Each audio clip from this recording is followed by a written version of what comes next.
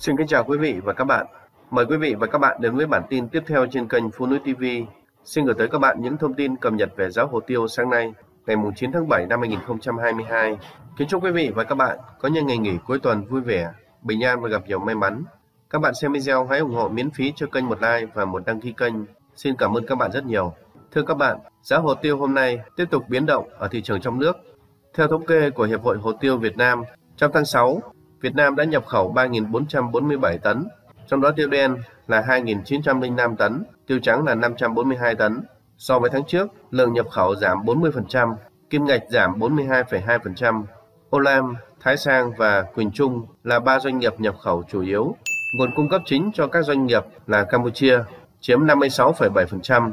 Tiếp theo là Indonesia, chiếm 28,6%. Tính đến hết tháng 6 năm 2022, Việt Nam đã nhập khẩu 21.299 tấn, trong đó tiêu đen là 18.045 tấn, tiêu trắng đạt 3.254 tấn.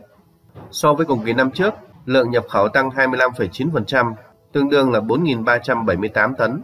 Thưa các bạn, trên thị trường xuất khẩu, theo ghi nhận ngày 8 tháng 6, giá tiêu đen và tiêu trắng xuất khẩu của Indonesia tăng nhẹ, trong khi các quốc gia sản xuất hồ tiêu khác duy trì ổn định.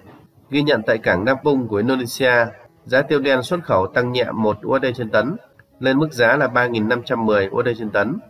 Còn giá tiêu đen xuất khẩu của Việt Nam loại 500g trên lít và 550g trên lít tiếp tục đi ngang với mức giá 3.650 USD trên tấn và 3.900 USD trên tấn. Quy đổi theo tỷ giá đồng USD tương đương mức giá là 84.800 đồng và 90.700 đồng một kg. Giá tiêu trắng xuất khẩu của Indonesia trong phiên vừa qua cũng tăng nhẹ 2 USD trên tấn, lên mức giá là 6.137 USD trên tấn. Trong khi đó, giá tiêu trắng xuất khẩu của Việt Nam vẫn đứng yên ở mức 5.700 USD trên tấn.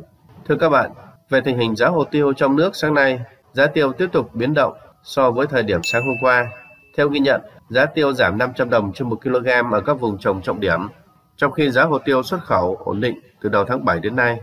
Sáng nay thì giá hồ tiêu trong nước được thu mua trong khoảng 68.000 đến 71.500 đồng một kg.